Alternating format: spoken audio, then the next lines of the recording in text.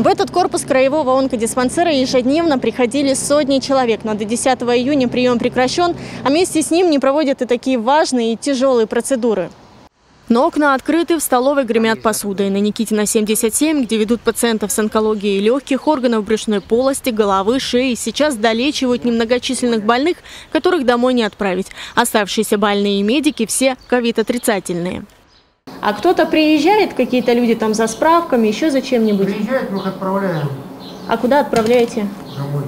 А, Потом домой. Приезжает сюда за госпитализацию, которая плановая была. Но они же не знали, что Из-за карантина отказывают не только в госпитализации. Мама Артема прошла в корпусе на Никитина 4 курса химиотерапии и только приступила к лучевой. Следующим шагом стала бы реабилитация после злокачественной опухоли груди. Но вспышка коронавируса в здании и лечение прервали. Можем туда попасть, не, не можем э, как бы нормально долечиться. Уже неделю у нас пропуск, даже больше. Кого потяжелее ситуации не завидую. Очереди на лучевую, химиотерапию, операции, очереди даже на место для дальнейшего ведения врачей. И беспокоятся не только пациенты Алтая, но и других регионов страны и мира, и, видимо, не беспочвенно.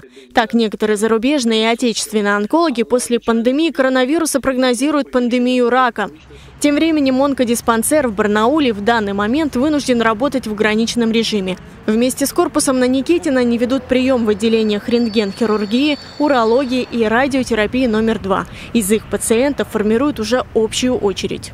в полном объеме работают, да, интересовались. Это отделение онкогинекологии, это отделение э, маммологии, это оба, к счастью, отделение химиотерапии, это отделение рентгентерапии номер, радиотерапии виноват номер один. Время ожидания для пациентов, э, да, в этом имею в виду, мы сокращаем до минимума, до возможного минимума. По возможности стараемся их госпитализировать на свободные скажем так, койки в отделение сходного профиля, чтобы несколько уменьшить количество проводимых хирургических операций, но а, как можно больше пациентам провести необходимую химиотерапию.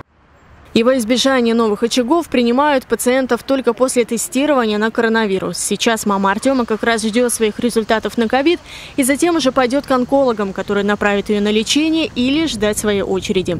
Тем временем некоторые врачи, пожелавшие не называть свои имена, уверены, задержка химио или любой другой жизненно важной терапии или процедуры даже в несколько дней порой может угрожать не только здоровью, но и жизни тяжело больных пациентов. Анастасия Дороган, Александр Антропов. День с толком.